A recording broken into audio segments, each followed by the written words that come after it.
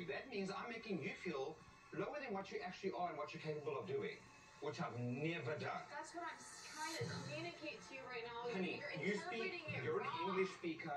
I'm an English speaker. Our communication is perfect. Is my heart very sore? Am I very angry right now? Am I going to say things I don't mean right now? Yes. Because I'm emotional. And I'm very hurt because I really thought you were there for me since day one. She loves the drama. I really am very hurt.